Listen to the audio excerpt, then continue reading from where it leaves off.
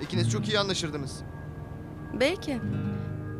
Her neyse sadece bu şekilde öğrendiğin için çok üzgünüm.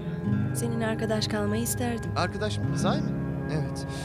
Musun Nedir? İşin aslı bu yürümezdi. Çünkü anlayacağım bir prensibim var. Yalan söyleyip aldatan arkadaş sayısını minimumda tutmayı seviyorum. Lütfen Mickey, şu ahlak nutuklarını kesebilir misin artık?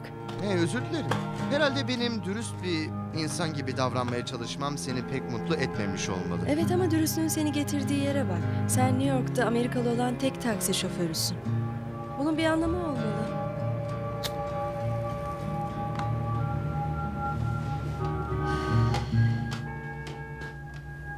Biliyor musun Heather?